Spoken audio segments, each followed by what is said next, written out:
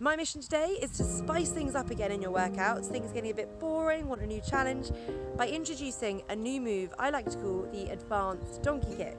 I came across this slightly wacky move in Les Mills grit classes, which, by the way, I swear down by, so if you get a chance, check them out.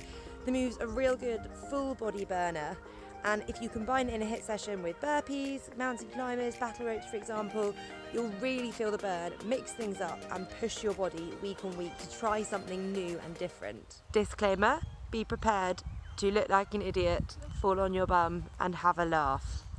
Thank you. 1. Start in a plank position, bum down, core engaged at all times.